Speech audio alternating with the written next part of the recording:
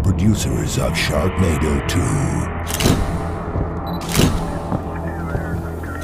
Lieutenant.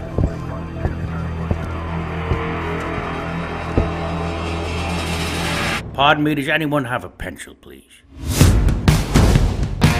You know, my wife gives me a pencil every morning. I just can't seem to hold on to it. Wow, that's wonderful to know. Now, if there's anything else I can help No, you no, no. This will be just fine. Thank you for your cooperation. Oh, just one more thing.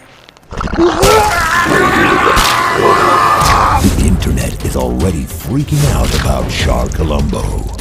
I'll make this quick, and then I promise I'll be out of your hair. It's no problem, Lieutenant Sharkalumbo. I was going over the telephone records. Uh, you made three calls to Minneapolis last month.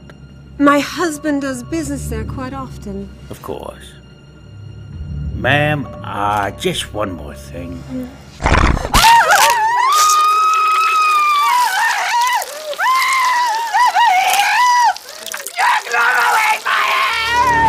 Shark Columbo. It's a shark, and it's also Peter Falk as Columbo.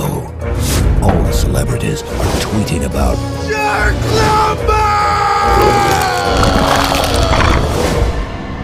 Boy, these are beautiful. And quite valuable, Lieutenant. Well, I'm certainly glad they've been returned to their rightful owner. Well, thank you for all of your assistance. Uh, just one more thing. Please don't eat me. What? Please don't eat me. I'm very scared of sharks. Oh, no, I'm a detective. But you're also a shark. But I'm very folksy and disarming. But you're a shark. What are you, my wife? What? Shark mind if I keep this hand? My wife, she loves mementos.